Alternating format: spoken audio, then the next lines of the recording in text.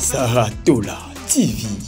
20 000 dollars oyo justice ezosenga na mwana oyo ya mokie oyo afuta tata mokolo bongo oyo awutaka poto eza sur base de quoi bakonzi ya mboka toyambi dossier ya alexandre na motema moko mekomelaki biso trop tard ka mosusu yango oyo moto aza nano en vie aselme eleki parce que asami lukelaki liwa sara tola tv mm. toye kokende na flat moko donc bafoto tozomona eza epa na bino na biso na kati ya ndako na biso ok toye kokende na flat oyo azalaki kologe na kote ya saint luc je pas vraiment retenu l'adresse mm. tovandaka wana tolali première jour tolali ekomi mpe r na butuka nde ezalaka meki mobali boye aotelema te wana ntango bowuti siko dot mpo ekomi likambo aboma nzoku parceke ye alobaki fo abala o afuti deya mbongo bozongi yo pena oprovoke ye ouais. parce que aza mobali na yo tozosola nyonso koyoka soni te mpe moto abandaki koambrase nga ah, ye nde abandaki ok mm. sara tola tv apo ah, bandi osimbasimba ye mais rien ah. oh non je ne comprends pas peut-être eza bastress ya mosala et puis ça fait longtemps na bima mwasi kala donc euh, bon, on a totiki oh Sarah Tola TV ah histoire oyo eza pasi eh? deux semaines mobali abali yo asimbaka yo te azokoko bon kosimba kutu te mais mobali soki nzoto ezosala okomprendre ke osimbi mwa koto oyoki mwa makasi osimbi koto oyoki mwa pete sarah tola TV. Après euh, dot, tu vas deux semaines ensemble.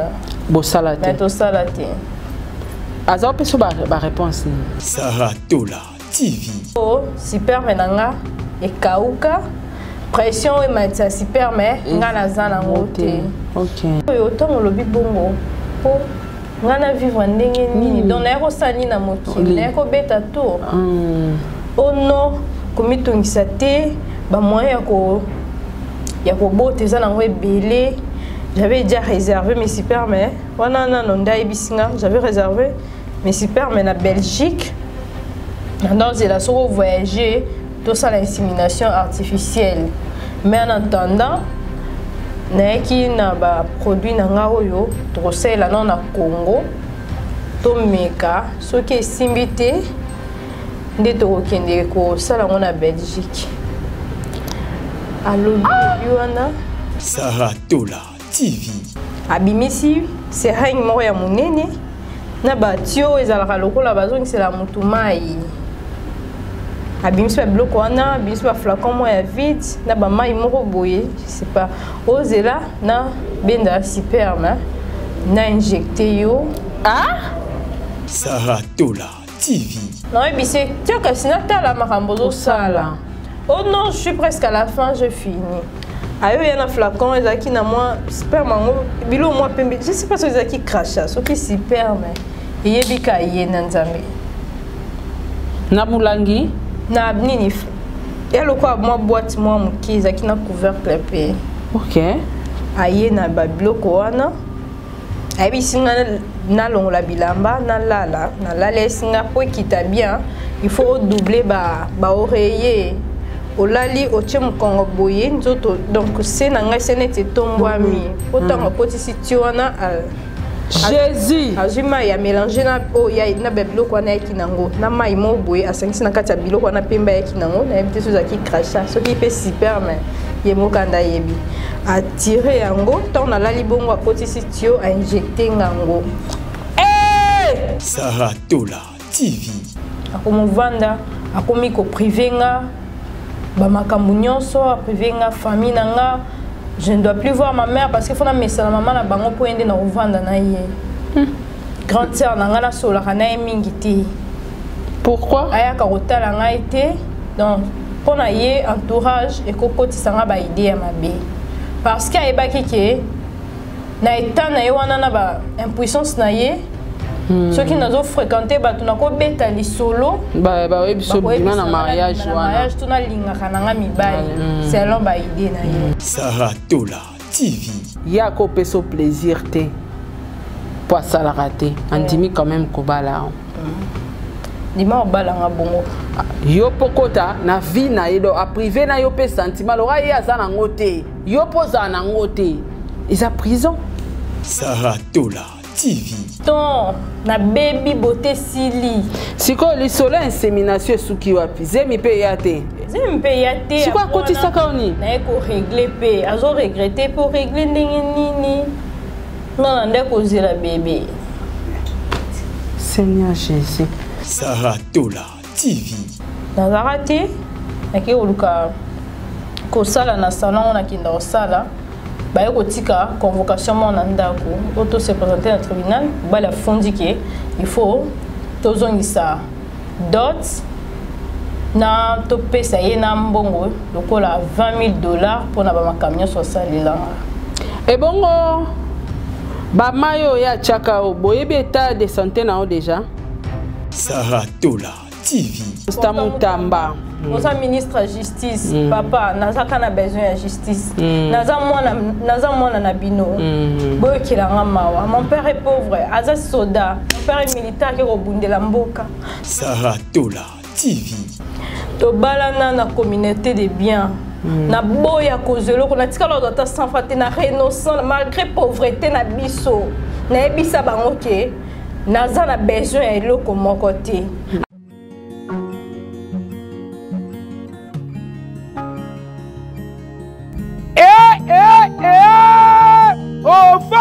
na Kinshasa, Brazzaville, na Afrique to mpe na mokili mobimba tika nayebisa bino ke désormais baprobleme nyonso ya loposo bozalaki na yango ezwi solisio e botuna ngai nini grâce ya bandeko ya beto cosmétique oyo baye kopangusa bino mai ya misu na baprodi lokola glutathione na collagene oyo eye kosilisa banduta batampo to mpe bato oyo loposo esi ebeba bino moko boyebi baproduit cosmétique ebele likolo ya hydroquinone ebebisa bato loposo kasi bandeko ya beto cosmétique baye kokonsole bino na basolutio grâce ya baproduit créé à base naturelle kasi ezali très efficace bokanisi esili te te Na bandeko ya Beton Cosmétique,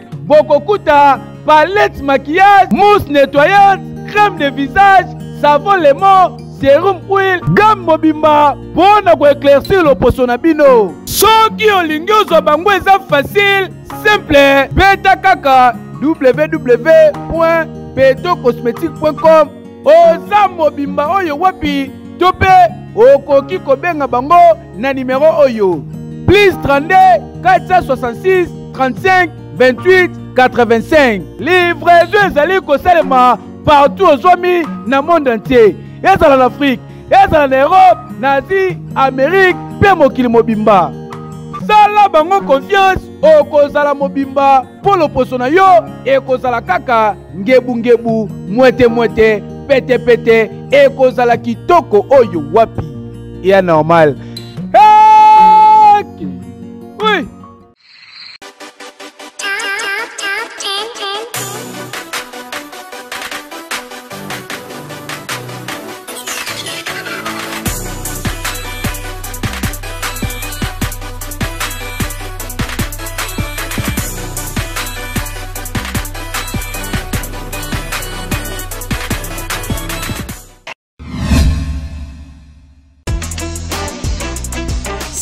Dollar TV, la chaîne qui assure, qui assure.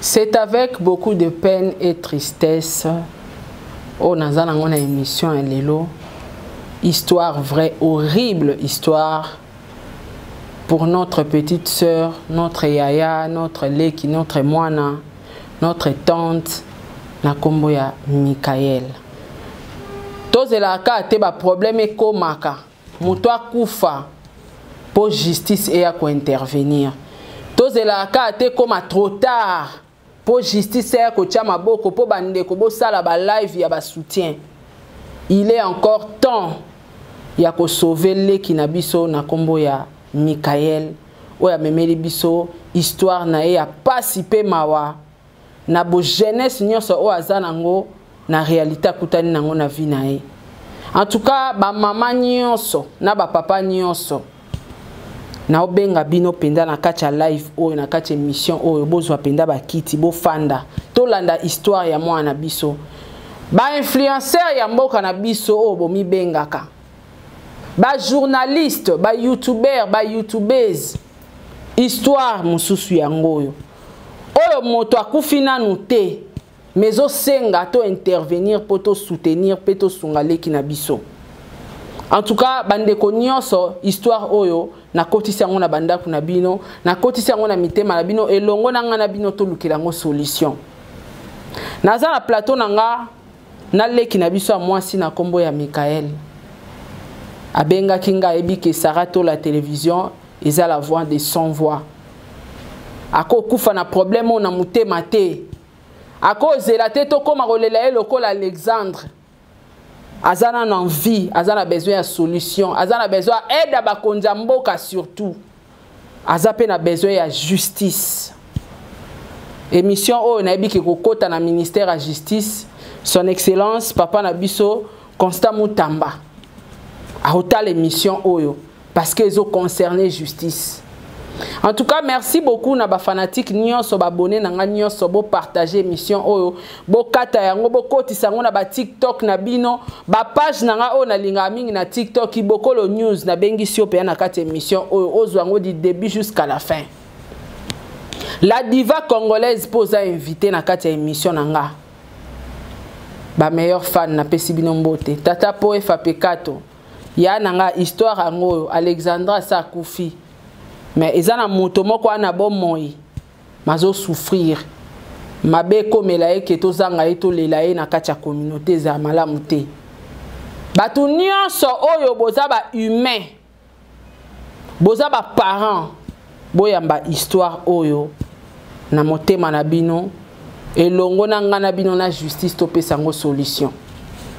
en tout cas ingénieur josue soki toza même langage na nga Euh, okofungolela biso déjà plateau bonjour euh, michael bonjour maman sarah ça va euh, ça ira ça ira hein? ouais. ok euh, petite biographie vite fait avant tokota na histoire nayebi ke oza déjà na pasi oza na mawa mai ya miso ebima nanu te mai bato bayeba Michaela aza nani et pourquoi Michaela a contacté maman Sarah?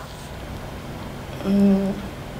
Naza kombo na nga d'abord mika kaumba mm. naza mwana ya soda mm. papa biso aza major aza na goma pour le moment wow donc papa na yo aza na goma azobunda mpo na mboka oui, akendaki guerre ça fait 3 ans qu'il est là-bas bagénéraux ya mboka na biso mwana na bino ya soda nda ye na histoire papa na ye aza sur place te mpo na korendre mwana na ye au secours mpo na kosécurise mwana na ye mais basoda nyonso ya congo je pense ke boza bapapa ya mikael boyoka histoire oyo na bandako na bino continue na yo oza mwana soda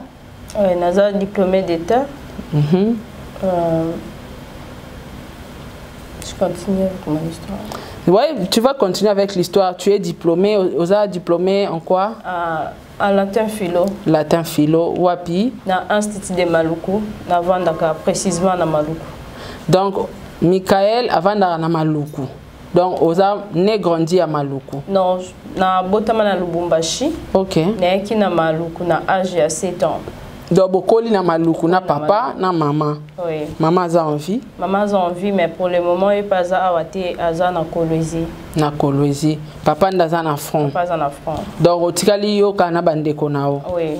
ok mikaela euh...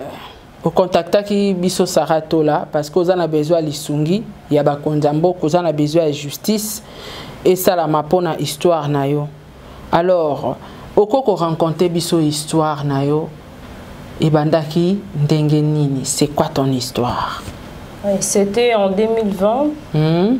nazalaki na facebook nde na utilisa facebook comme d'habitude oui Uh, naye kotombe na message moko ya messie moko akombo na ye bige ngombo ngonda bi bijou bijou oui mais akata bige na ok donc bijou ngombo ngonda, ngonda. Oui. ok akomeli nga sali nga mpe na répondre na facebook na, facebook, na année 2000... 2020 20 ok donc 4 ans passés Mm. Non, c'était en 2019, ouais, fin 2019. Fin 2019, ouais. ok. Mm. Komi kosolola, akomeli yo na répondre mm. koluka kaka oyebana kwaka nde ezala na facebook mm. bete nga mpe mwa masolo na ye ya moment so otuni tu fais quoi non nauti euh, kine na nga mpo nazwaki masasi na na problème ya makolo nazwaki masasi na nzoto me aye neutralise makolo naosa kine avec le temps naotambola na nga mm. wana sikoyo bobandi conversation na fin 2019 eh, na eh. mese bijou oui, na mese bijou na bosololaka wana bozo tanga azobetelo masolo ya kine bosolola lokwa banani lokwa bacamarade ok ok kwa ba camarade tosololaka mm. mm. tozosolola tozwai mwa temps ya kosolola mingi mikolo ekomaki ebele je l'ai mm. dit que ça fait un moment ke tosololaka mai moto wana asololaka namonaka ye te parce que atya profil te na à l'époque atyaka profil te na facebook na ye zela tosuka mwa wana donc ntango ozalaki kosolola na facebook parce que nayebaka facebook biso nyonso tokutanaka na bato na bafacebook hein? ouais. tokutanaka na bato mais ntango ozala kosola na ye na facebook ntango bozala kosola na ye osengaka ye mpe foto te lokola facebook nayaki na bafoto te ozala kokomana na bino normal sans arrière pensée oui normal nasengaka ye mpe foto te ntango namoni ke tokomosolola trop mm. nde naye koyebisa ye ke comment naosolola na yo na ata na idée ya moto nasololaka na ye te mm. Dans bis, ça va pas de problème. Nga na zana ba photo te. Mais je te passe mon numéro WhatsApp, non binga on appelle vidéo. OK. Aïe. Wana ka na fin 2019. Wana ka na fin 2019. OK. Aïe ko binga nga na appel vidéo. J'étais avec ma sœur na salon. Bengi nga na déplacer. Pour na okay vous bimaki voya mukolo. OK na eh, téléphone. Ouais. Mm. nake na douche nasololi na ye ah, namoni mpe ke eza normal tosololi mpe esili ok sava sava toko mpe okontinue mpe osolola ka nde ezalaka après ya moment akomi kosala nga baavance mm. betenga masolo na ye ya vie d'abord ndenge areva kofonde famille mm. abota et tout et tout mais amona basi ya bien te mais pendant le temps ozosolola na ngai oremarke ke naza fi moko bien opréféré kosala vie na ye na ngai Ah, wana kaka na kati ya kikamaraderie nde bozwa osolola donc ntango wana nyonso bozwa osolola ye abandaki koobserve yo oui. pour ke okoma mwasi na ye oui, c'est ça, ça. Mm. ok après obandi kosolola après aye koyebisa yo bo tokóma na relation ya mwasi na mobali voilà. en distance parce que le monsieur avanda na allemagne avanda en allemagne ok donc aza allemand Az... ouais, achangea mpe nationalité, nationalité. ok ouais. allez tokomi mpo osola wana je l'ai dit que j'étais pas intéressé d'abord mm -hmm. parce que na condition physique na ye peut-être euh, baparent na nga baoza d'accord te epuis nga moko mpe na age na nga nayebi te soki nakokoka donc déjà ayebisaki yo ke aza abe histoire nini abetelaki yo déjà ya makolo na ye babetaka ye masasi il était na kati ya supermarché mm -hmm. autaka église mm -hmm. bacambrioleur bakoti babandi koyiba maintenant ba, ye ayebaki te baye bamoni azosola na telefone bango bakanisi neti ah, abenga la police mm. nde bayaka babeta ye masasi na nzoto babeti masasi ba, na panzi etuso mpe na colonne eneutralisa makolo mm. mais badoktere babaki kotambola na ye abanda olanda ya bakine ayoti nde na foto moko na salle place asalaka kine na ye alati bapareil mwana makolo mhm. ayebisi ngaki asomba appareil wana soki 100 000 dollars quelque chose comme ça 100 000 dollars appareil c'est 120 000 dollars appareil yango bandai kosela bakine mais na otambola wana atindelaki yo mpe photo omoni mpe na bapareil pareil ok atelemi mpe na bapareil oconfirmaki eza ye parce que osola nini appel video okay. mpo na ndoso na ye na pele okay. et après abandi koassure nga ke eza nango eloko moko ya obanga te ezaotambola na ngai mpo mm. nalanda deya bakine parce que soki ezalaki na otambola te na ngai na banda kodepense bambonga bapareil te mm. ti na bino lokola akomi kokende ngo na syrie na sola na grande sœur na nga nayoka idée na ye mm. quand je parle avec ma grande sœur à ton âge là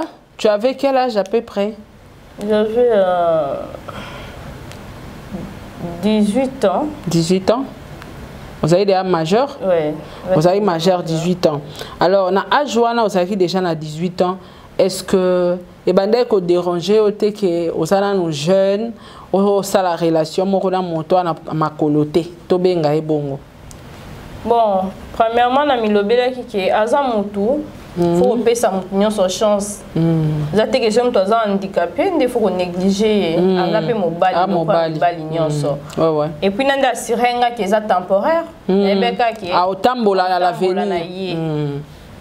après nasolai na grande sœur na nga atunai nga mpe baquestion wana okoka boye na boye na ye si non ayebisi nga ke azalaka na ye bien akotambola na ye ntango hmm. amoni ke komokiseri abisa va lokola oza na courage te na osola na mama ah, donc yo obangaki oyebisa eh, mama oui hmm. nabanga oyebisa mama nde nasololaki na ye hmm. aye kosola na mama mama abengi nga na chambre na grande sœur wana nde otunaka baquestion aboyaki nano aboyi nonga biloko wana nalingi te naboyi un jour soki balukeli yo mabe boye na boye mm. vu que na insistait tellement na point wana donc c'est que yo mpe okomaki amoureuse na ye donc olingaki ye na état azalaki nango na difficulté oassume ovanda na ye pour oui. la vie okay. nandimaki nanga ba condition so wana okay. ndimaki mm. nanga vu que mama monaki na insiste trop abi bon nakosela yo mpe choix te mm. okoluka mpe mobali mosusu eyindeli yo kuna ekomi yo mpo mama aboyaka libala na nga mm. ti nasololi ne mpe nayebisi eke non asololi na mama mama aza d'accord et tout ça va c'est comme ça na otinda famille na nga kuna baya kose présenter officiellement mpo mm. nazala na possibilité ya koyeda ko ata na biloko ya mike mike parce que à l'époque tozalaki tellement contrôlé babiloko bandako kokota na ndako te mm. nde basolola ye mpe famille na ye mpe ya koya wana wana papa no ake fronte wana papa no ake fronte ok bandeko ne bayaka wana asololi mpe na bamama ekomi nango mpe fiançaille officiel ok donc famille na yo endimi mm, famille na bango mpe bandimi oui, sikoyo ekomai ndeni boyi oyeba famille na ye oyebaki famille nde ndeni apresentaka ngai nano euh, sœur na ye Nasha par téléphone par téléphone hmm. mpona nte nga sere na ye apesi nga banimero tokomi mpe kosolola bango motu bakoya atangi na mpe bakombo bato bakoya na na présentation yango hmm. ezalaka bongo donc okay, euh, ntango omona apesaki yo contact ya belle sœur wana okende mpe otala ye quand même oyeba oui nakendaka mpe na adresse na ye hmm. namoni mpe ke oui eza réel omoni belle sœur yango komoni naye nasha kiazola abota abala okendotali wapi na bana na ngiringiri ok donc a mère des enfants oui. femme mariée oui. ok donc okomi deya na assurance ya moto osola ne na mosika ke aza na famille na kinshasa oui. ok na ba adresse nyonso mpe apesaka nga mm. et par après naye kobetela ye idée na nga ya, ya, ya, ya bon parce que nga nalinga na otanga université te mm. pesi ba idée na yaki non nga alinga osala misala maboko esthétique et tout et tout ok d'accord obeteli ye projet na yo mm. nde aya ko aide nga ti ndenge nga mbongo nakomisi na inpp na ndiosa baformation mm. pendant que je faisais la formation anda mpe otindela mpe mbongo ya batransport ya biloko nyonso wana mm. nasisi formation na nga nasisi formation après deux jours abengi nga bon tosolali ya chaque jour oui. après deux jours ayebisi nga na otindela yo cadeau na yo lokosisi formation mm. donc tindelo cadeau jeudi c'est d'accord pas de problème abengi ndeko na ye osisi formation osisa ye nani na esthétique na ok INPP. na inpp ok oza esthéticienne oui. ok sikoyo ntango osisi classe ezwaki après mpe lisolo ndenge towuti facebook na place tokomi ezwaki après mpe combien de temps Environ 8 mois. Oui, moi. Hein? Je me trompe pas. Donc, c'est que voilà, tu côté de 2020. 2020, ouais. Bon, solo là, fiançailles écola, relation ouais. écola. Donc, bon, comment on se comporter, le roi, moi, c'est dans mon bal. Et en même temps, famille, n'a eu bio. famille na ye mpe ye famille na yo mpe bayebi ye baza kosola déjà na mama to nanu kaka te eh, na batelefone déjà donc famille evandaki mpena mpo na fiançai famille evandaki ouais, famille evandaki ok alors continue histoire ntango osilisi ntango nasilisi ntango ayebisi nga ke azotindela ah, nga cadeau epai ya frère na ye docteur ndombele aza docteur aza docteur mm. atindela nga cadeau jeudi le même jeudi wana nalamuki mpe ntongo nakie mpo esangana ke kozwa cadeau na limete na 7e mm. rue na Petit boulevard. Place atindeli yo cadeau. Oui. Ok. Nakomi pe wana na bengi na yesi nakomi wana amoni pe docteur pa bimi to sololi. Docteur wana oyebaki ye déjà. Nayebaki ye pe déjà. Ok, ande ko na ye cousin. Ko na ye. Cousin na ye ndenge présenta kanga ki aza cousin. Cousin na ye. Ok. Comment na ye nani? Docteur Papi Ndombele. Aza pe docteur. Ah ouais. Ok. Allez. Abisinga cadeau na yo eza na kati ya mutuka. natuni wana docteur akiti eh, ayebisi yo kado na eza na kati ya motuka ok nafungoli portiere ya nsima je rien trouvé namoni kasaki ah, kado yango eza wapi ntango nafungoli liboso namoni ye viki nazalaki surpris nabangi nano hmm. nakoti na kati ya motuka yambi nga mpe wana tosololi oyo na surprendre yo nayesi ya pourquoi tu m'avais pas dit que ozoya mm. oyo nanga nasala oka surprise mm. c'est bon d'accord nasepeli oyo oh, tokei na ndako omona mama toyaki na mama etout tokei mpa na bango na ngiringiri na bosenge okay. tokómi mpe wana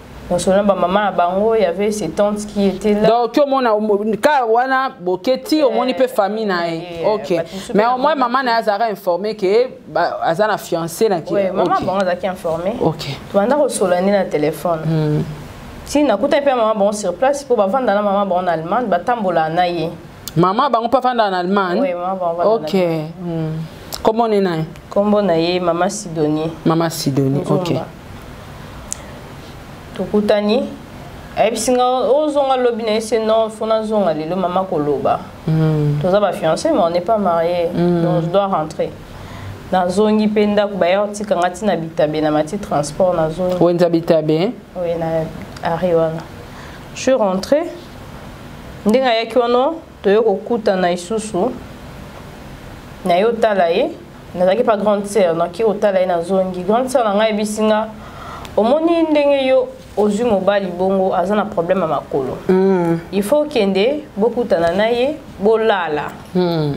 omeka soki nzoto na ye nyonso ezosala normal Hmm. parce que bato ya bongo mosusu bakala bango normal me mosusu omona peut-être nzoto mobimba na se ezosala te wewe mm. na bi ah ya na mpe ida mabe te mais eske onoyesa mama nini so abengi yo te wana besoin olobela oyo te nga monoyesa mama ke oza aipa na nga hmm. nabengi ye mpe nasololi na ye toki mpe totamboli na pokwa na certain lelo na olala place yo olalaka osala oh, promesa wana ososoli na grande sœur grande sœur accorde yo okende ocheke eh. oyeba soki azosala donc ezalaki grande sœur atindaki yo kende oyeba odecouvrir parce que bamisusu soki makolo esala te boye na ye mpe boye esalaka te donc yango ayebisaki yo kende yo moko meka mpo ok na comprendre c'est bon on avance je suis allé tolali ekomi na butu ah, moto abetanga kara parce que nga nayebi ke mobali soki amona otamoniobosolaka eh, na telefone eh, mais ye azokipe na ye te olali onone oh, kopense mabe te soki na osimba yo te mpo nalingaki kosimba yo te avant mariage mpo na respect hmm. bon na insiste na nga mpe te lati je me suis dit moto moto aza baprincipe na ye ya vie hmm. mais ederangeaki yo te avant to avance ederangeaki yo te komona ye ntango omonaki ye makolo na ye omonaki ederangeaki yo te bon, ederangeaki nga te vike nayebaki déjà situation na oyebaka déjà eh, ke azala na makolo otambolisa te ok donc abanda otambola ndeni na bavelo azalaki na velo avanda na, eh, non, na chaise roulante en fait ok sikoyo soki aza na kati ya motuka avandi uh. soki alinga akita bokitisi chaise eh, roulante uh, chez po ndo tamona cousin na ye cousin na ye avandisi ye eh, akitisi abima ye moko avandaka ah. parce que ezalaki na babiloko oyo te ezalaki na nsima ah. to polele ok ndako ovanda ye moko mm. ale sur rentre grande sœur na atuni nga eleki nde nini nayebisi ye normal ayebisi nga hmm, yo ozokosa nayebisi non on a rien fait ayebisi nga ke il faut abala nga nano donc si je comprends bien ya na yo tellement ayebaki ke mobali no aza na makolo te abangaki obala mobali oyo makolo ezosala te nzoto mpe ezosala te ndai biso kende nanu bokutana na ye otala état de santé na ye mobali mpe ayebisi yo moyen bosalela quelque chose eza te parce que eh, il faut abala yo ouais, donc euh, a respecter yo apesa nanu mbongo avant nyonso ouais, ok yo mpe osololi na ye grande sœur na oyebisaki ye vérité quand même ouais, nayebisaki ye vérité avant naboyaki nabombaki en fait mm. ale na ye oyebisi vérité ke non on a rien fait parce que alobi il faut apesa nanu biloko en avance après wana ekoya nsima mm. esinga bon etali eya nango mabe te me ngai namoni yango vraiment bien te ceaco grande sœur hmm. c'est ce que faki na insiste peut-être nga kanisa neti oza chel eh, eh, toto etout mpo otiki na yo eh. ekotika hmm. kande tosola yebisi nga no il faut nazonga bapesi nga congé ya un mois mpo na ese bango ke nazo ya obala il faut tosala makambo rapide to fixe date et tout na date ya ya opesa biloko osola na baparent kaka mbala moko mbala moko ouais parce que déjà fiancé ekolaki ouais fiancé ouais. eumelaki ouais na telefone nde nasoyi mpe na bamama bapesi mpe date aye mpe apesi biloko pesaka dot ya alors totya nanu bafoto yo olobaka na yo ingénieur josue awa mpenza il faut okoma professionnel donc aoparle sur la dot mobali abaki aza na conja un mois afa asala nyonso ahonore ye epuis akende bapesaki ye un mois na mosala c'est ça non oui.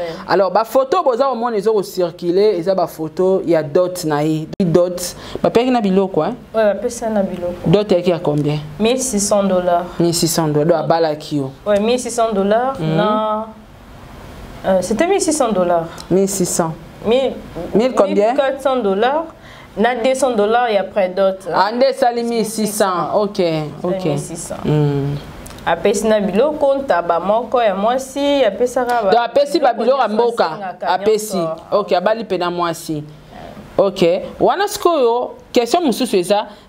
Tango bozo sala ba préparatifs ya ba mariage ya ba dot wana.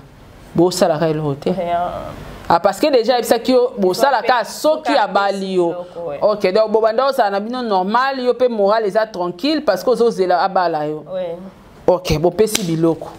mpe sibloka le même jour apesa ye biloko azalaki mpe ka agite nde nabali mwasi na ngai naotika ye te naokende ka lelo lelo mababi ah, aoya ata lobi oza presse o te hmm. nga ka lelo lelo azwi yo azwi nga mpe tokei nazwi mwa babilaba moke moke libala esalamaki wapi libala na maluku epa na biso epa na bino ok na résidence na bino eh, ok hmm.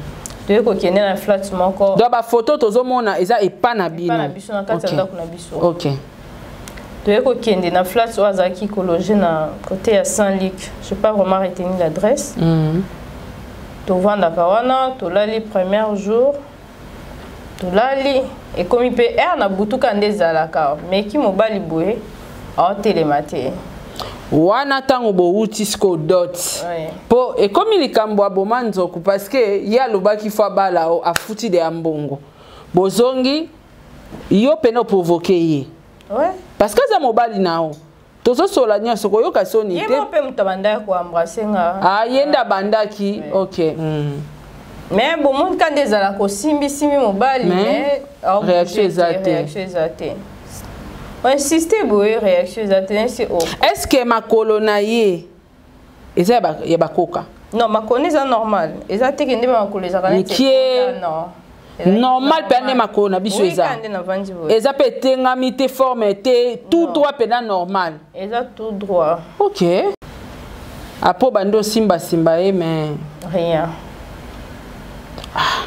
oh non je ne comprends pas peut-être eza ba stress ya mosala et puis ça fait longtemps na bima mwasi kala donc euh, on a totiki oh lobi susu kabongo troisième jour quand même situation wana kaka donc bosala eloko te olala oh osala eloko te ti bajour ezopusana tosala natya lokola nano après, après avant, mariage après euh, dot, dot. tovanda deux semaines ensemble bosala te tosala te aza wapi so baréponse nini stress kotambola tambola on sortait tokobima lokola bato baoki classe oh. donc na ntongo oyo tokie pa mama parce que mama bango bato bando vanda bosenge bino boza ovanda wapi biso tobando vanda kote ya saint luc flat oui ok boke pa mama kuna bovanda bosala mpe eloko te bovandi kaka na mama botalana balambi bolie bato oya kotala bango bazoya kotala ti ata ba 22 heures 23 heures bolongwe bozongi boya boye oh, je suis fatigué boye na boye baraison ebele ebele nayebisi ye ça fait presque une semaine anda moto ozovanda awa mai naomona malonga te mm. loko olobi ke eza stress chaque jour stress mpo tobimaka totambolaka etout etout lobi tobima te tovanda mpe ya journée mombo ozwa mpe ya journée momba ya repos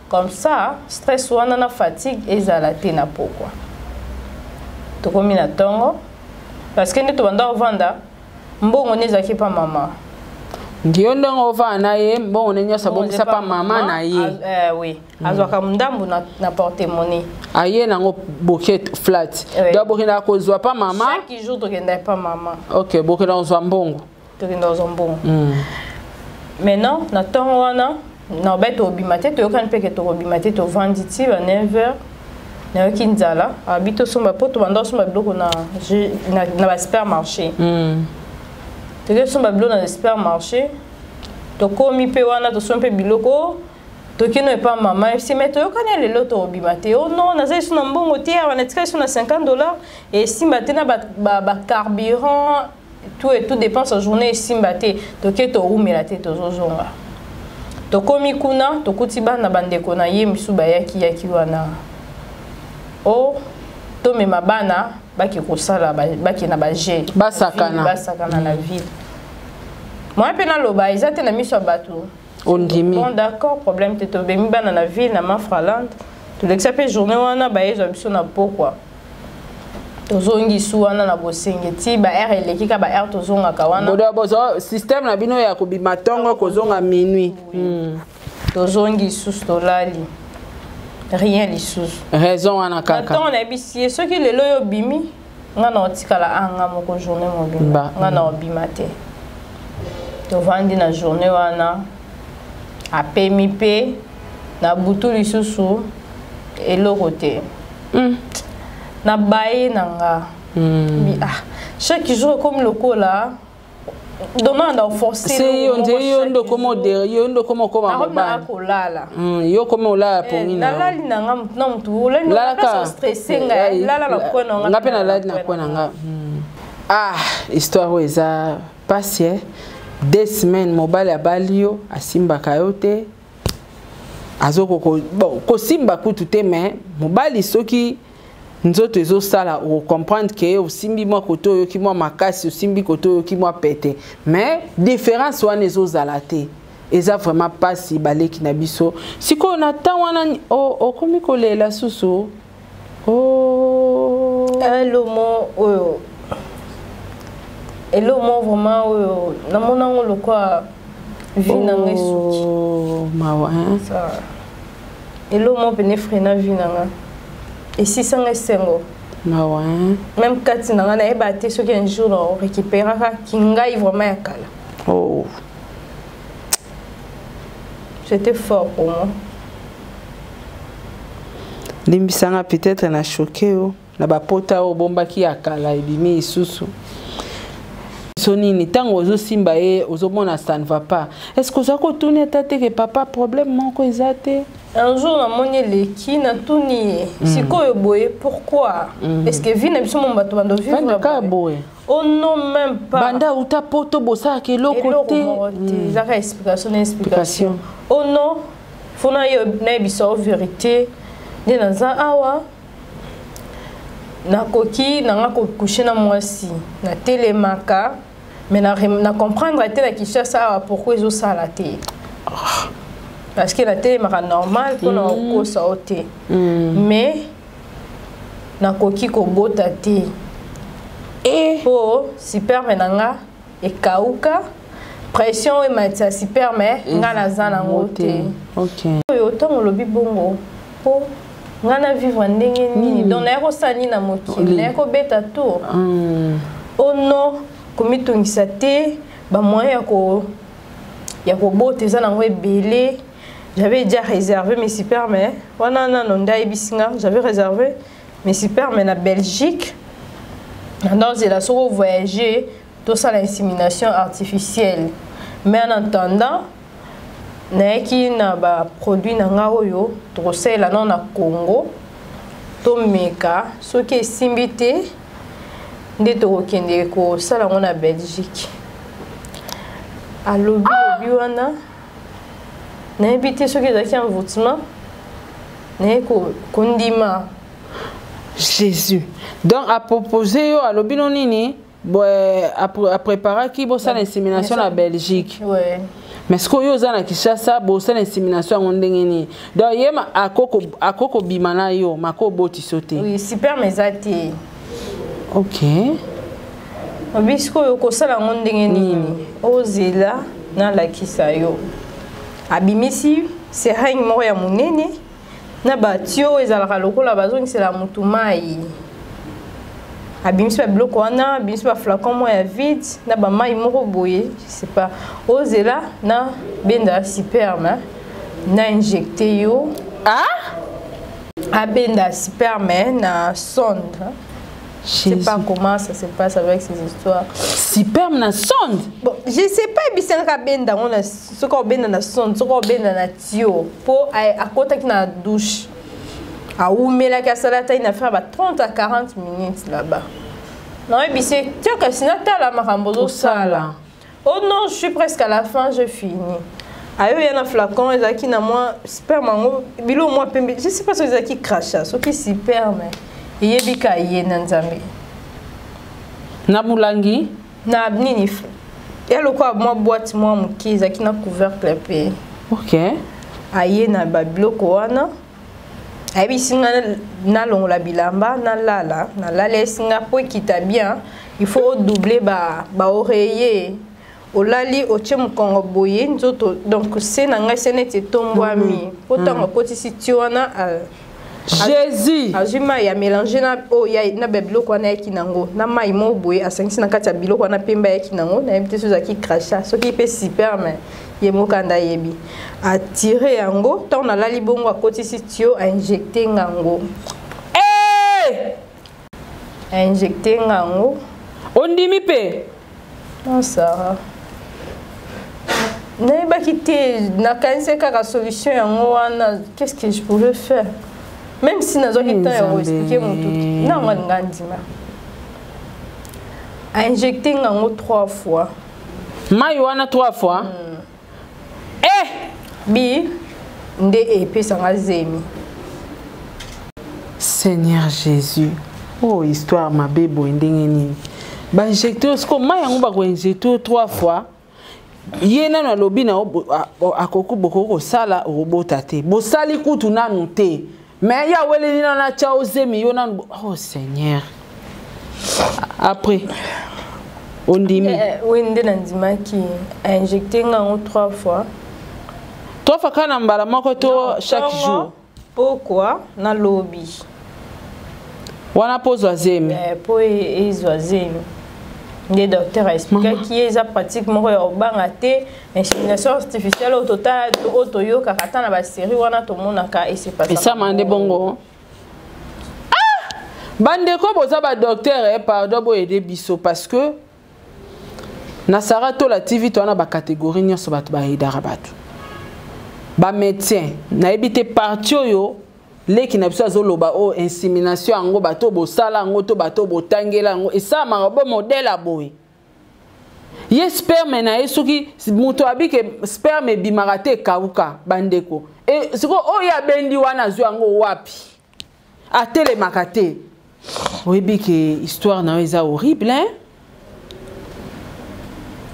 oyebisa ye bandeko no te mpo na nini mwana nga ndima nga j'avais peur ayebisa ye nga naloba te nayebisa bango te bango ba surprise bamoni ka okomi na nse eza secret ya biso mibale parce que aza mobali na nga je dois le protéger sperme wana mpe eza ya bato te boye nzambe mpo ye akaukaka akauka sikoyo akozwa sperme wana est ce que mpe ayaki ezalaki pena yango nayebi te nasimbaki yango te omoni ka elo omoni ati bacracha asangisi yango na mai mosusu na mai mosusu mai yango ezalaki claire mai wana oyo asangisaki ezalaki claire bolingo eza aveugle hein? c'est vrai l'amour est aveugle quelle confiance opanzi mpe makolo akotisi yo eloko akotisi yo oyebi te eh yesu et après oh là là après, tozovanda bajour mpe ezoleka eh, noki nzoto malili makambo ya mariage mpe esi passé tosali mpe mariage civil tosali mpe mariage civil tozalaki na commune aye kopresente nga baparrain baparrain oyo tozwaki bazalaki na lubumbashi aye kopresente nga baparrain mosusu sur place bandeko na ye moko cousin na ye na mwasi na ye ngai nayebisi ye normalement baparrain oyo yo oyebisaki nga eza baoyo efaki bauta Lumbashi. Mm. Siko ba oyo yozo présenter nga. Ba uti wa. Ba uti wa puis nayebi docteur mais moi sina na yebi ete. Mm. Okoka ko moi ko informer nga en avance. Oh non eloko moko ya ki brisque. Eh? Moyen informer ezaki te po ba ko yebisa nga ke bazolinga badivorce moyen tocontinue bango eza te na esi na ntango wana nyonso mpo esenga te na kokoza ata bapastere na biso baparene biso ono azalaka na ye bie komitungisa te bonvike mpe tozalaki na na commune déjà mm. to continuer pe kaka ti cérémonie pe sili lobi toye osala feti nyonso ya coutumier nde ezalaka na pokwa toke kolala na hotel chez les conseillers car non loin de chez moi parce que mm. feti elekaki na lipaepa baparent mm. nde tozomona na bilili mm. toke kolala avant wana nanu na feti aboyaki nami na masanga abengaki grande sœur na ngai bisi ye mika amela masanga te donc mpo ayebaki peut-être soki epesi nga baposo nzoto akokoka na ye te point hmm. omela masanga te mpo ya nini mekela feti na omela champagne ye moko mpe kamoto ayelaki omela yango hmm. nameli mpe namela mpe ebele esenga lokola mwa vertige feti mpe sili na change bilamba toyoke na hotel wana toke na hotel tolali oyo mpe na butuka nde ezalaka na kwiti yango mpe ndenge azalaki na yango elamusi na baposa mosusu elalaki na yango nabosani nake yes. makambo ebandaki kotelema te mm. bandi kosimbasimba kaka nde tobandaki kosala na ebandeli eloko moko te c'est par là que j'ai réalisé que esimbaka mpe lisusu te mpe mm. kosimbaka te mpe exista mpe ah, te mm. nandi kolela nandi kolela na butu wana nandi koraisonne na mikotisi na nini mm. nandi kokanisa makambo nyonso na makambo bainsimination wana lobi pourquoi naye kopense te ke soki motu aza ya kokauka eloko esimba te na nzoto eloko esala te donc pourquoi mm. j'avais pas pensé à ça depuis temps wana bandimba moko stresse nga nalamuki mpe na ntongo je fais comme si de rien n'était na rien nango mpai apesi mbote et tout tozongi ndako toyei kokende na flat na saint leki oh, tozongi tobandi kosolola mpe ngai nazozonga mais naotika epa na bino mpo ozala laise donc après mariage ya suka civile deux jours après faki azonga bosali mpe kaka te eloo mo te mama sara oh seigneur rien lomo te sikoyo courage sikoyo ya koyebisa motu nazalaki nango te hmm. j'avais peur Même si na expliquer mutu est-ce que ba ondima nga? Ma kombo oloba. Hmm. Po ye masolo ezaki kaka na bota ka te pa maman naza pressé obala po na komi mukolo il faut na bota boye na boye. Donc mutu po andimo ki ozoloba vérité eza pasi. Sololi wana kefaka zonga akanisi mpe babiloko nake otika ye na aéroport na bandeko na ye misusu na mama na bango tokomi na aéroport ayebisi ndeko ne ake aretire mbongo na banke ka na aéroport wana apesi mm. ndeko na ye o oh, mbongo olongola mbongo osombela mika mbetu asombela ngai mbetu o oh, oke kovanda na bango mpe ah kovanda na bango koma yebisengaki je vais rester chez nous ti ba démarche sila oh non il faut que vanda na bango déjà to solola ki na bango ozala les kuna esi na ozala les kuna te parce que nayebi bango te mm. na vanda bango te moi sine kutu komona ye kaka na na fête na fête na vanda bato nayebi te ndenge nini et puis chez nous na ozala les na kovanda bango te komela lokola débat ti aye ko voyager komi débat débat ayo benga ba mama ki efaki ba ozwa ngana kende bango mpe bazalaki na choix te mpo naza lisusu ozo dépendre na bango te mobali asa abali oyo apesi mbongo naye koki kovanda kuna na ebandeli ezalaki bien tozovanda tozovanda e ndako oyo bamemaki yo wana ezalaki ndako ya nani ndako bon baprécisaki nga te nakutaki grand frère na ye avandaka na ndako ya se likolo déjà bamarraine bazalaki déjà wana hmm. zalaki ndako ya étage grand frère na ye na se bamarraine likolo eza na njili hmm. nako mpe ovanda wana bapesaki yo chambre apesi nga mpe chambre na nga hmm. navandi mpe wana naovanda mpe libandela ezalaki bien après un moment mobali ayo change attitude ezalaki na, na libala ya grande sœur na nga nga moto nakenda kobongisa ye ah, biso ekomi 20 heure nazonga se feti ya libala mariage religieuse ndeko na nga moko nakenda feti lokola mopaya mm. epuis heure wana bamarie bazala na bakoti te oyo nga deja nalobi kaka bongo et puis il faut kende na ndeko na nga moko mpo asurveille yo namoni na nga mpe mabe te mpo naza na elwa maba okesaka kuna te nazwi ndeko na ye cousin na ye oyo bando otambola na ye soki aza na congo mhm. ka dokta wana ka te bianki nde mosusu eh, bianki nde bando otambola ni mwana ya ndeko ya mama na bango ok ok toke na ye mpe feti tokomi 20 heure andi obenga yo tozonga ndako esi eh, soki ozonga wana okendanga te parce que feti ayena biso noko marie akoti te ngai nakende oke te soki omoni okende yo kende nango na oke to alobi tokende apesi nga 30 minutes soki eh, nga nakei te eh, soki yo oboyi kokende nga nazonga bon kende na opo eza feti aya na biso 30 minutes ekoki ye bianki akei nga natikali feti mpe eleki nake nalali epa grande sœur na biso mosusu akufa nake lobi nango nazongi na njili nazongi kuna nabenga mobali ayambaka nga te abenge pendant trois jours oyamba te atika na nga tosala mhm. une semaine dot abengi nga oyo oh, mobali na nga azoluka na telefone abi ah telefone yango eza wana pourkui azobenga nga mo te oyo nayebi te nayembi ye mpe oza bien esi naza bien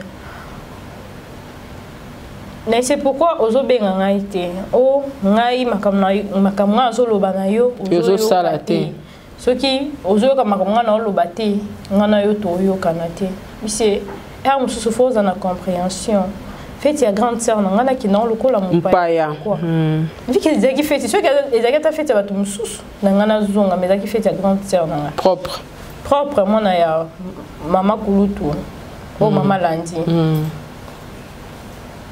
ali eloko wana mpe eleki nango depuis wana nde namonaka attitude n'echangeaki envers nga naye kokende zando bayibi nga telefone mm.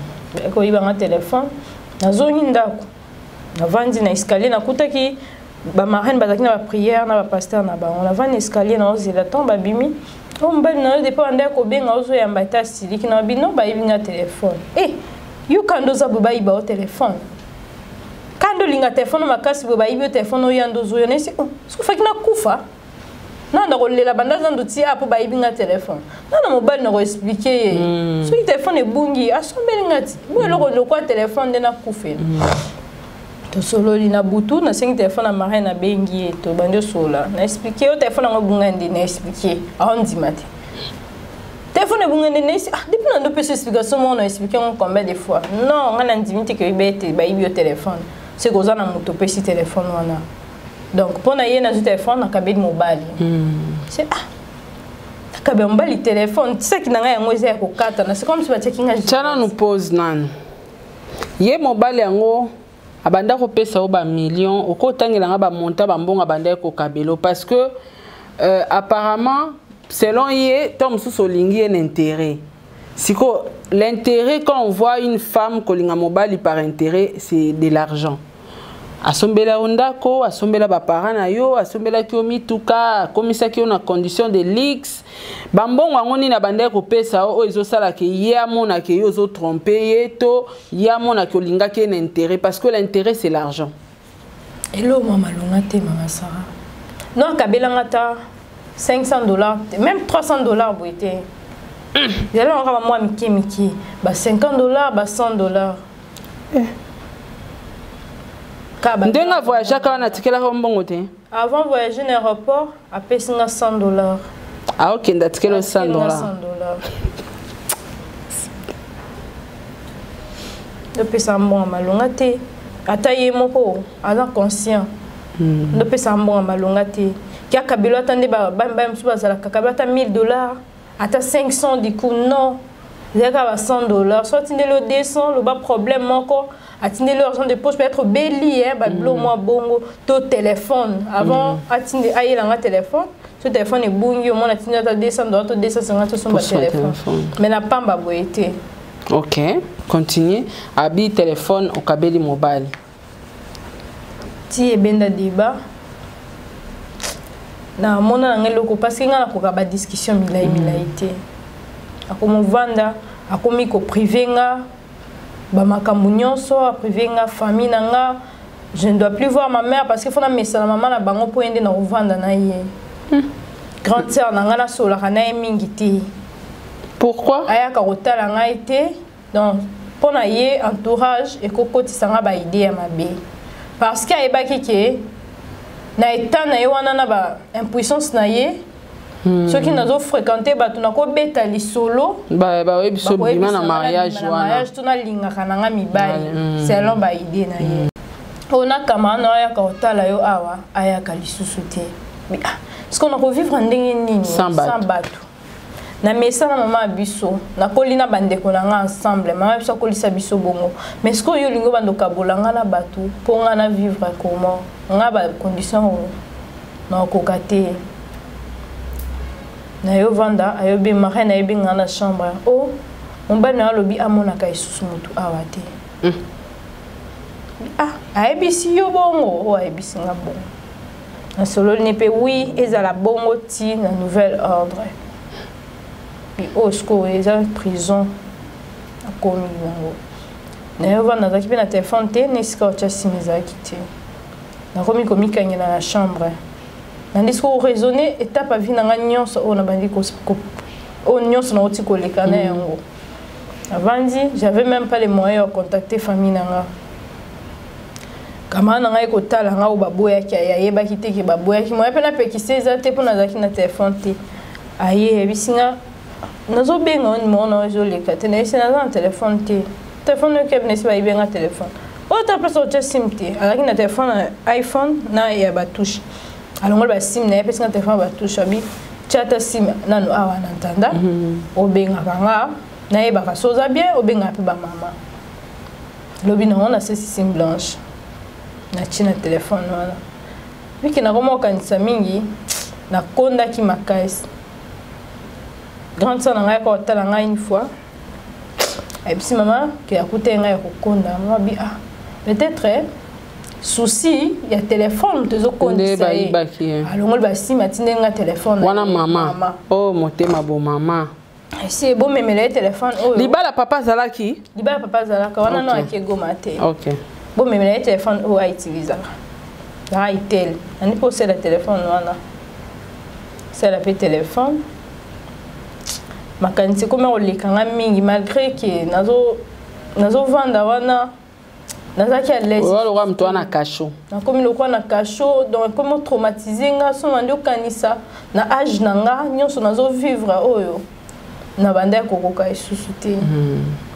mokolo mosusu navandi nakutani na mama na journée na pokwa tokabwani nazongi ndako mama abengaka nga azalaki mpa camarade na ye ainsistaki tellement nde mobali alibere nga o lokola mama aza na matete kende bokutana nakutani na mama nazongi ndako nandi okanisa ebele mayele esili nga nabi ah so nalobi mpo ye ando oyebisa nga moni makambo donc si je comprends bien mobali ayebaki déjà ke ye akopesa o plaisir te mpo asalaka te andimi quand même kobala yango mm-hmm.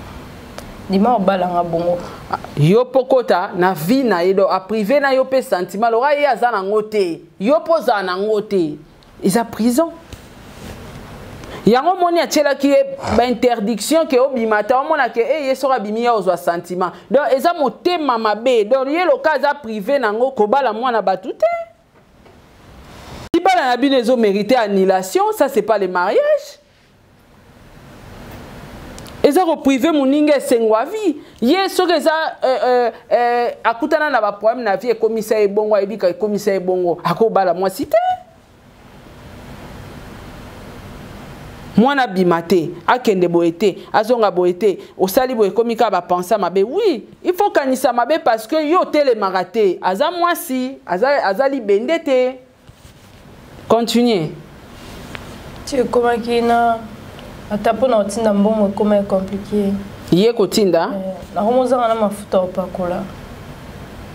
Nakomi ovanda sikoyo nakomi komituna nabalaki nini mpe nabalaki nani. Mm. Na misali nini na vie. Makanisi eleki ngo mwa ka motu so abengi yo. Omoni vie ozosala wana. ekoyebana oh. bavi ozosala moi je me demande nazosala vie nini parce que nabimaka lisusu te loba so naki église yango nazosala ya nini sikoyo ekomi lokola kotraumatise nga chaque jour masolo malongi eza lisusu te komika moto akomotya mal à l'aise omoni te na vivre boye te nabimi nake na dispensaire nasombi bakisi nasomba bakisi ebele bakini na mélange badoxi bakisi ebele ebele nakoti na chambre nasokoli nakota na douche nasokoli na sisi nayati pyjama na mélange bakisi wana nyonso na meli na babi te nakufa na nga kaka mpo nazwa kimia hmm. mpo nde azoyisa nga nabeta lisolo tata so nabeti lisolo moto akondima nga aza te sikoyo na vivre ndenge nini et puis so na boye mokili ekoseka nga na kotula na koyoka soni mm. donc eloko ebomisa nga eza souci souci avant ebomisa nga ata na crise mieux vaut na misunga nga moko wana déjà bandobela déjà estoma nakota na radio c'est discographie boye sur radio batalake bapoile déjà elongwa eswaka koti na stage ya gastrite sante eza esusu te elongi bouton na bebi bote esili sikoyo lisolo ya insemination esuki wapi zemi mpe eya te zemi mpe eya te sikoyo akotisaka yo nini naye koregle mpe azoregrete mpe oregle ndenge nini nga na nde kozela bebe seigneur jésus oh eza bahistoire mosusu elekanaka na sa moi oyo so babeteli yango omona yango neti filme bakomi hein, lora bellevie kandi akomi filme na papier or eza réalité eh. hey. Eh. loba mama le mama sara naye komélange bakisi na meli nameli bakisi mpo souvent so navai na chambre mwana ya docteur mwana ya parrain mm. ya mwasi ayaka baluka balukaka pembeni na ah. nabengani na chambre aye nabengani aye nayo bengani tour asuka nakangi porte me natiaki kale te nameli bakisi nasiomela bakisi ana nakwei fulufulu bandi obima nayoka kanda obeta porte tati pourkoi tu me chasse ouvre ah, oyoka oyo anonse ti afungoli porte ye moko atindiki porte akuti nga na obima fulufu akebenga cousin moko tomanda kovanda na ye ya cousin docteur ya parrain da ya koya wana nayebi mpe te bayemima ah, naye surtout na hôpital bazongisanga mai nayolamuka ba 22 heures namela bakisi 18 heures 22 heures wana namuki bamai tuni bango telefone na ngai eza wapi oyo telefone bake nango na ndako pendant ke ngai aza na hôpital marraine na beau-frère nango to bando vanda naye bango bazongi ndako bake vanda batiki ngai na garçon wana steven bazwi telefone na ngai bandi kocontrole bamessage grand frère ya mobali azwi telefone wana akangi donc banimero nyonso eza na kati ya telefone wana asali bafoto asalisali bafoto atindeli ndeko na ye ya mobali navandi mpe moyen ata kocontacte baparent eza te jésus nalamuki na ntongo Na bimi, na sengi tonton moi ya cabine wana ezaki pemi na hôpital. Na bengi maman, na bisi maman, naza bien te, na kota ki hôpital, na sala ki crise. Ou sala crise ya nini, problème nini, si problème eza te, j'avais pas compris, car na kwei. Au point ni ba, ba bijou benga te, si na yebi te, téléphone na nga depuis que nene na ndaku na osinga boya na ngote. Ti, na yoki pe moi bien wana. naye obima na hôpital bango babengi mama abengi bango mpo ani mwana akoti hôpital bozo informe nga te ono oh tomonaki ke eza nango grave te toboyaki koderange yo koya na yo te mama azobela ata obi jamais hmm. mwana akoti hôpital alali bobengi nga te mpo bozoyisa nga na hmm, yaka azobela te soki abeli te eloko nini balaliseli ye na hôpital mama ye moko ayeya mama ye ye marraine ake na ye epa mama na bango abanda akende vendredi azonga dimanche to lundi na ndo atikala lopango wana nga moko baekolo nini bazombo ok ah, tovandi na mama tosololi ti mama ekende makei mobali abenga kutu mama azalaki na wana mama akende mobali abenga allo omoni yo makambo ozosala moto auti na hôpital ni kotuna ata soki oza bien eloko ebomi eloko omibomelaki yo moko oyebi epuis nga moko deya nayebi nasi nabengi vodacom natindaki makambo nyonso vodacom asi renseigner na baappel na bamessage nyonso sololaka mutu na bimi na hôpital naoyeba ata tina répondre andi ah, osambisa nga mama asiliki aboti nga telefone abi jamais moto abimi na hôpital ni kotuna ta état ya santé bandi kosambisa mwana nga tribunal yango kosilaka te po chaque fois bosololaka so naoyoka ezalaka kaka discussion na discussion mama yo okende nga atikali wana kosambisa nga chaque jour nayebi makambo osalaka vodacom abimisi nga nyonso bappel bamessage tout bavoice ah, soki eza ekoma chaque jour naokoka te nakomi kaka kolela hmm. nayebisi ye jour mosusu nabengi nayebisi yo monga nde naza awa no reconnaître eloko te ozobomela nga nini hmm. bimisa nyonso lokola obi ke oyebisa baparent na oyoka soni nandimi nayoka soni mm. nakosenga soki mpena eza biloko oyo na reconnaître mpena ke eza yanga mm. nafukama na kosenga pardon na miso ya famille na yo na miso ya famille na nga parce que nalembi ozotraumatise nga na babiloko na osala te naokoka ta osala iso eloko te nakomi kaka komituna baquestion namoni eleki eyosala ezalaka na décembre hein? tosalaka souvent réunion famille chaque fin ya année papa abengi no fo tindela nga mika mpo toza na réunion ya famille yo te papa ekosala na telefone te oyo te na telefone papa ese te tosala yango biso nyonso fo tomonana tosala réunion oyo nga mpe fo na assiste mpo tala kaka nga mpe nakota na famille ese te wana ezaka ya bana nga na nga moko oyo oh, sava problème te naye okende kuna papa atali nga aloba eloko te tosali mpe tosololi mpe ya famille wana abengi mama esi evandisa mwana otuna ye nzoto esili boye mpo na nini tala mwana estce ozotala ozozwa ntan ya kotala mwana yo obengaki ata te bosolola vandisa mwana otuna esi problème eza mabengana esi problème eza te ainsiste na esi te nao comprendre te naza alaise te mpo alobi ke nazosala basale vie aza bapreuve banini tellement azoloba na nga trop naokoka te komi koderange ngai abisa basi okomi bongo soki eza mabe yo kokende te na obenga bandeko na ye baya tosolola hmm. baloba baye obenga docteur na ndeko na ye ya mobali grand frère ya bige baye eya wana na ndako mama andi papa bandi oyebisa bango ke mika natunaki akondi ayebisi nga makambo eza boye donc na bango abi eh akokonda te ndeni makambo na mabe moto ezokondisa ye mwasi ya boye mobali aloba nde maloba mabe te mpo na nini mwasi mobimba aza ata na soni te mwasi azosala buzoba kindumba na ndako ya libala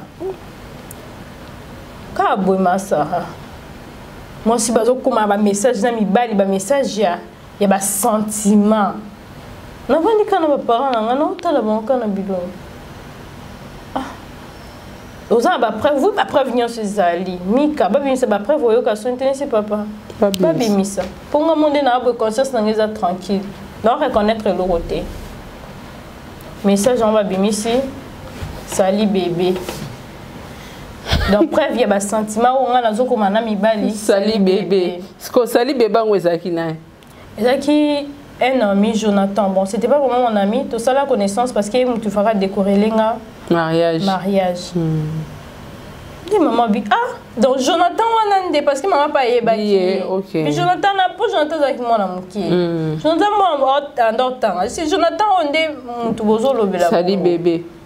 sali bebe à part wana message mosusu ezalaki te ntango aobale ye bamessage boye baluka sali bebe naomona sikoyo bacapture ndenge akangakanga foto na telefone na ngai mpo ngai naye tovandaki boye nde naye comprendre ke basala ye ngai je na famille na bango mm.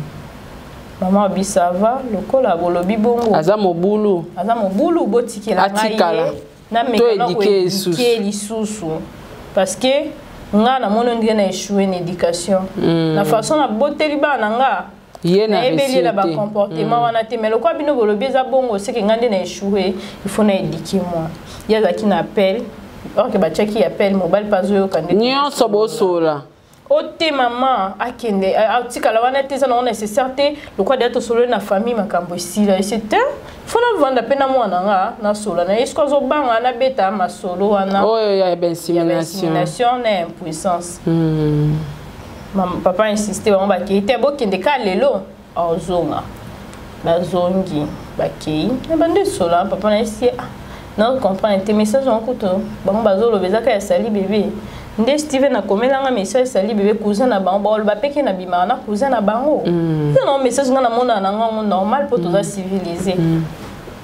tosolo na papa mpe bie papa mpe basololi papa mpe abengi bango ayebisi bango tosololi na mwana ngai tosololi boyeboye epo apesi kutu exemple ya ndeko na bino moko bango bazwi eloko wana bameli nazongi ndako ete vers 23 heures nava nanga baescalier nayoka kaka grand frère na bango ayebisi steven bengelanga docteur na mika baya a tokiti na kati na ndako na ya se avandi kabo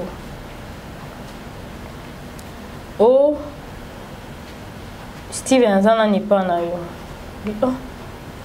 azala nani epa na nga na sens nini aza neve ya mobali na nga sikoyo olobi bien aza neve ya mobali na nga kobenga yo nani tante soki ebandi ndenge nini yo na steven bobanda kokoma na basali bebe bobanda kobengana babebe en fait oh.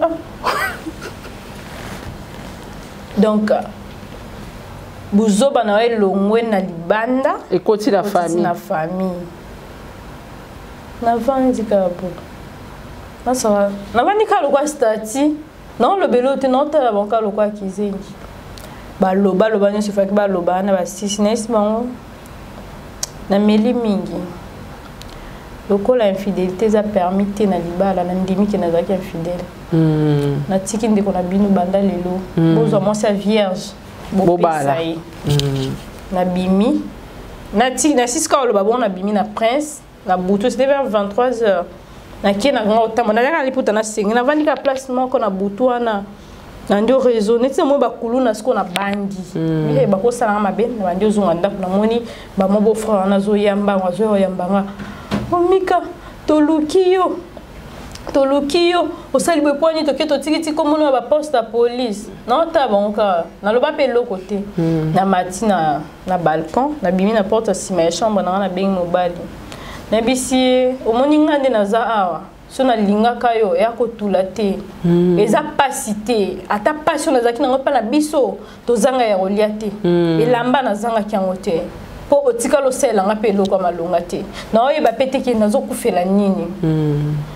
mpo mm. bato mosusu bakokanisaki nalingaki yo na mbongo mbongo opesaka nga eloko te soki totye mm. mbongo opesaka nga eloko te na bacondition physique na yo fi moko te ya age na nga aolinga mm. yo asupporte yo na puissance na yo na kozanga kobota nazosola sikoyo na telefone nazoganga hmm. na kana azalaki nango sikoyo naolela naoganga hmm. makasi marraine azalaki na douche ya chambre ane abimi mbango na liputa ayoki basekreazoganga hmm. oh, mika mika yetisa voi na se bavoisin bazali te togangaka basola na mobali boye te so likambo eza vandisa mobali loba nayesi marin kokota makambo na ngai te hmm. navandi nakangi porte nayesi mamoni ngai nde naza libali esili nabandi okanga biloko mingi atikanisi jamais nakangi bavalise na ngai tu nakangi biloko na ngai ye abandi kobenga na oyamba te andi obenga na oyamba te namuki 4 heures 5 heures na bimi na salon na kuti na mesa bati ba clé belé ce qu'on aurait connaître clé à porte té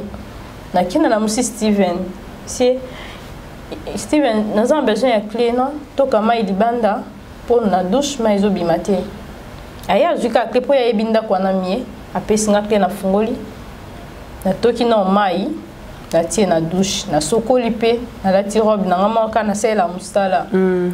na zu valise na nga moko mpo nakenda na de valise nazwa valise nanga moko ya moke na bandi okitisa marai naki kobenga bamwa bofra mika ye azokende mika ye azokende ayemba mwa kangi ngai na liboko o oh, mika kokende nano te boye na boye so likambo eza tovana tosolola naoloba mpe eloko te bazwi nga tokepa beau-frère wana tovandi na salon abandi kosolola na nga oyo oh, soki eza mpona makambo esepasaki lobi limbisa soki olingi obuma libala mpo na yango soki osiliki nde tomonaka baninga bakendaka na belle famille yo olingi okende epai na bino mpo ya nini nayebisi bango naza ndumba hmm.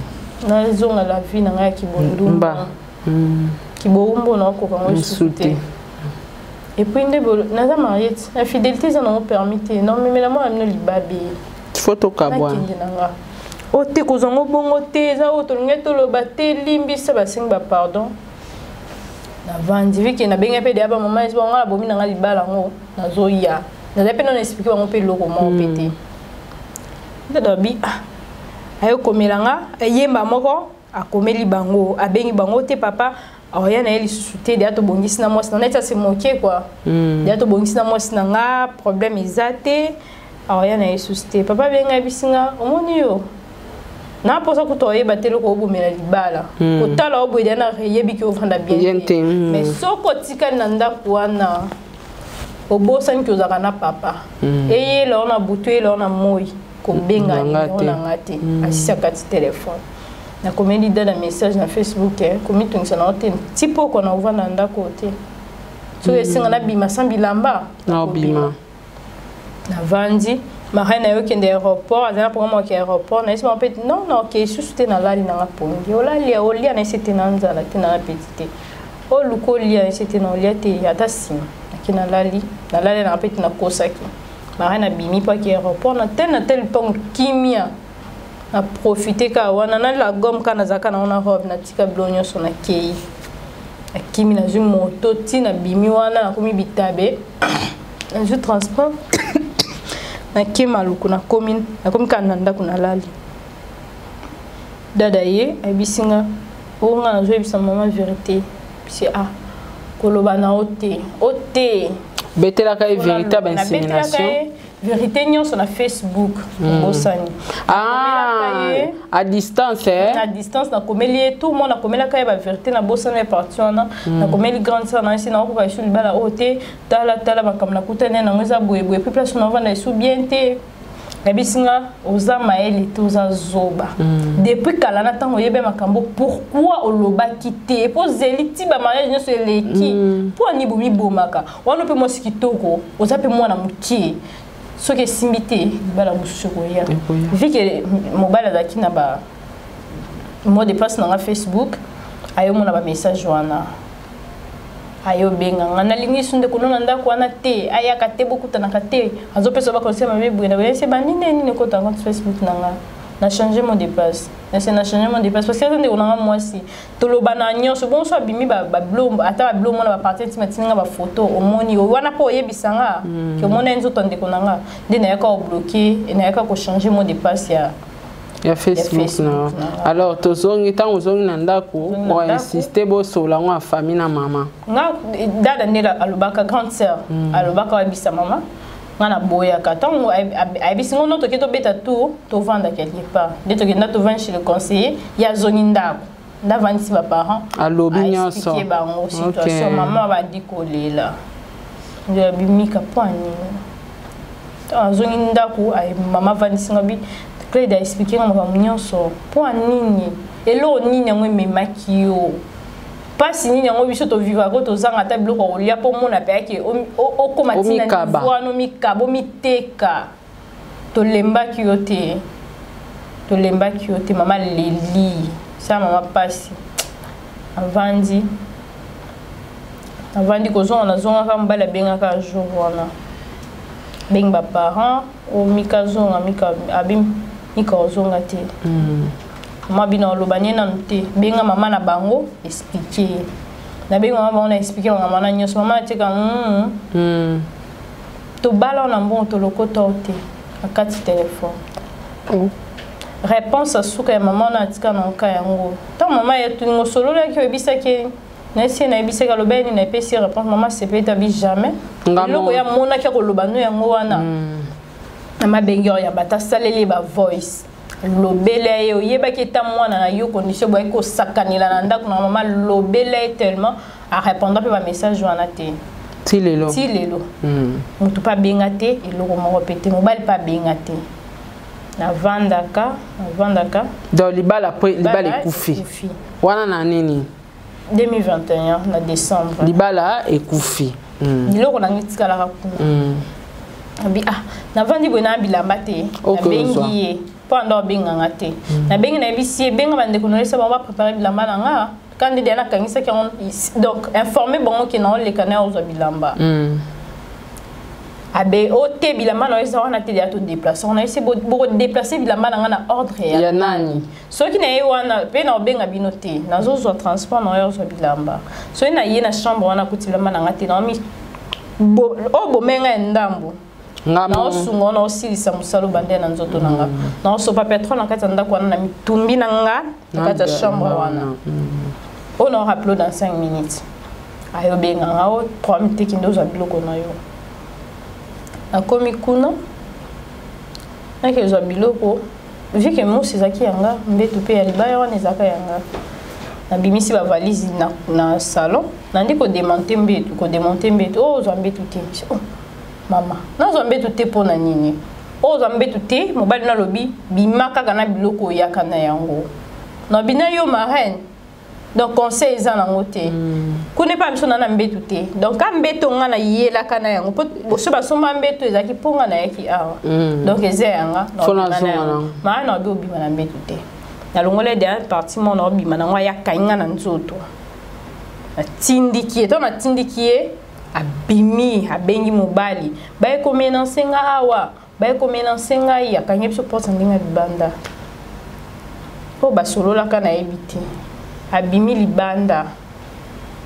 nayoka kaka mabange ebanda akenda kobelela bato na balabala boye bato bakoteli ngai na ndako naye biso mama sara no na vivra humiliation na soni ya bongo na vi na nga te nanu te naye biso ple moko na tano njili kanda ezalaka hmm. bato batonda na veni mabanga bamba mabanga oyo akofinga bazofinga ake abengi na la polise bayokanga mama hmm. mpo toyei kosala desordre toyaki ngai mama grand frère na ngai na chauffeur oyo bapesi ya biso toya na motuka mpo ezala motuka voisin na biso tosengaki tobotie carburant mpo bozwa biloko bavitre motuka bato balalisi navandi bafinga nga babelela nga ndumba moto na moto abengi nga bakomo nyonso alingaki na ese donc kaka mpo na mbetu bwa bapauvre mpo ngai na vie na ngai nakoki jamais kosala eloko mpa motu ka mpo na mbetu botikala na mbetu na biloko yango nyonso botikala na yango bapolisier baye wana donc moyen obima ezalaki te mpo fule ezalaki wana bazobamba bamabanga ti mama yo benga papa heureusement papa azalaki na kingasani ayo ya na moto na bagarde corps ani kobeta cordelette bapanzani ya koti na kati ya lopango mpo nazata lipa nakuti bapolicier mpo mama baye na obouge te naza mwasi officier hmm. alakisi carte ya épouse militaire eh, ok nde bapolisi batuni problème eza nini oyo te aza ndeko eh, mwasi ya ndeko ya mobali na ngai se sikoyo babiloko baprograme ya famille bobengi biso mpo toya kosala nini hmm. mobali na ye koya akangi matrikile ya motuka toyaki nango grand frère mobali mpa ye bandi ko expliquer nde makambo ebandaki o te papa mitungisa te tozwa charge ya kofuta bavitre motuka wana hmm. ndoke na biloko toyoki na biloko nde ngai mpe na poko bayamba mpe lisusu bapela bato te totikala biso libala mpe kufa mpe bongo hmm. mobali mpe abengaka te namoni bamwa eleki nakende nde nayaki kosala kokota kokenda naye kosola na grande sœur na nga bisi nga mpo vivre mieux fo sikoyo bodivorce légal de euh, officiellement mm. nde aye koyebisa nga naza na professeur na biso moko maître eh, azala maître avocat banda osala na cabinet ya ministre maître dieu donné mm. nde grande sœur na nga abengaka ye tokutani tosololi tobandi mpe procédure ya divorce oh normalement falai baanile ka mariage hmm, mariage e, e, e, ezo requérir ba balwa nango nyonso tu te falai ba parce que tobalanaka mpo tobota bana tosala nyonso mais ceque déjà bana baozala te mariage eza en forme te ifaki baanile yango mm. tobandi procédure ya divorce wana baye kobenga ye baye kotikela ye convocation na, na ndako na bango boseli ye alobi wana eza adresse na ye te eh. ti mikolo eleki aye koya ye mwana kin ake mpe koporte kosala demande na ye na, na bureau ya juge mpo bajuge bazalaka mibale nga asala mm. juge ya mobali mm. ya kikuta juge ya mwasi nde bayaka kotransfere badossier nyonso epa juge ya mwasi ake mpe na baakisation na ye ndenge ngo ngai nazalaki ndumba soki eh, bokabwana kaka eh, bokabwana probleme ya te probleme eza te bokabwana susi na ngai eza kaka tokabwana kaka le reste ata lobi nyonso akoloba mm. naza na probleme na yango te ti nde akokoma bongo bien que ezwaki temps mamo badivorce yango nzambe ayesunga avant nano ayebisi nga nabalaka yo mpo na divorce te donc odivorce mpe na nga te na olakisa yo ewumela mpe badivorce yango ezalaki kaka kobinisa binisa binisa ti baye kopesa nga divorce mm, oza na papier ya divorce na papier ya divorce na nga mm. navanda mpe nabosana mpe namoni mpe ke ah nakomi libre nakosala vie tranquillement nazalaka te nakei koluka kosala na salon ngo nakenda kosala baye kotika convocation moko na ndako oyo to se présente na tribunal mobali afundi ke il faut tozongisa dot na topesa ye na mbongo lokola 20 000 dollars mpo na bamakambo nyonso asalelanga ebongo bamai oyo ye atyaka yo boyebi etat de santé na yo deja kende mpe na hôpital te vu que tozelaka tribunal eloba parce que ezalaki na efaki ekota baprocédure nyonso babiloko nyonso wana bamasona yango mpe te alors ton histoire eza mpasi ezwi biso une heure du temps hein? malgré nao voyage mais quand même il faut tosisa histoire oyo bato bamoni yo na etando eke osali horrible histoire mariage moko ya mpasi e bokabwana nanu mpo osala baexamen to découvrir eloko nini basalaka na nzoto na yo moto na moto azalaki koevolue na coin na ye bato baotala yo bakonzi ya mboka baotala yo mama na biso première dame mama boboto mama denise na kiro azotala yo basoda nyonso ya kongo bazotala yo lokola mwana ya soda bato ebele bazolanda yo bamama paster bazotala yo bainfluenceur bato nyonso badocteur bacatégorie nyonso baza kotala yo bandeko na biso ya diaspora baza kotala yo mpasi na yo eza nini eloko nini ememi yo oluka sara tola oleka obeta histoire na yo problème nini sikoyo etelemeli yo après divorce tala caméra problème etelemeli nga après divorce mpo na ya kotala yo mpo eza problème ya 20 000 dollars eh. biso toza na famille pauvre mon père est militaire papa biso aza na front mm. il n'est pas sur place abundela mboka papa biso akei kobundela mboka na situation oyo namonaki place ya kobandela te mm. nakofuta 20 000 dollars wana nakobandela wapi ata 1600 dollars yango nakobanda kozwela yango wapi na mon agija ki bon hein. na ya koluka mama Sarah mm. être ko aider nga mm. na bande kwa ba ba konta mboka mm. mama Denise oza mwasi mm. na yebi ki ozo comprendre makam na zo loba ta ki femme mm -hmm. na za posa bo sunga nga na za ka na besoin ya justice mm.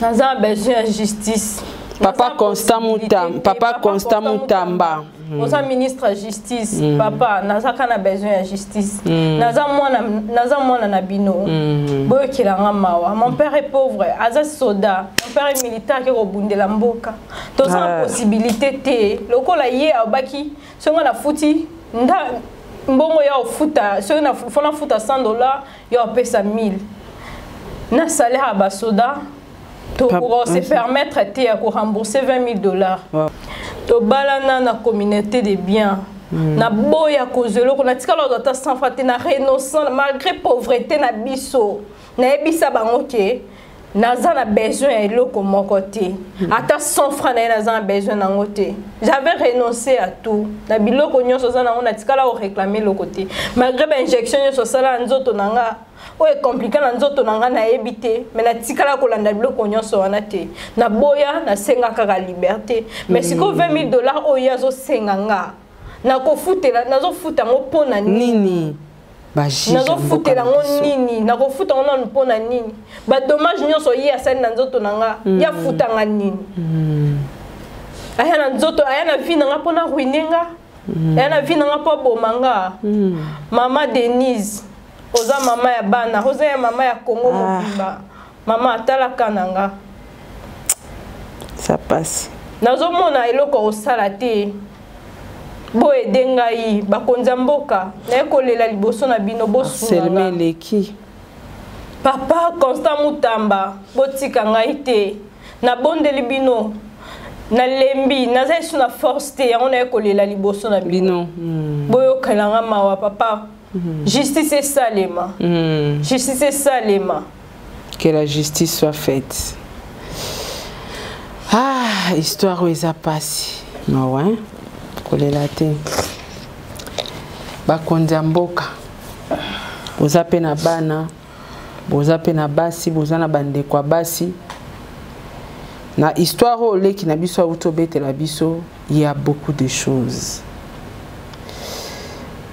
na ye na mobali moto akofunda moninga peut-être eza mwasi parce que mobali aza mature il a quel âge aza na ba age nini ye mobali na age nini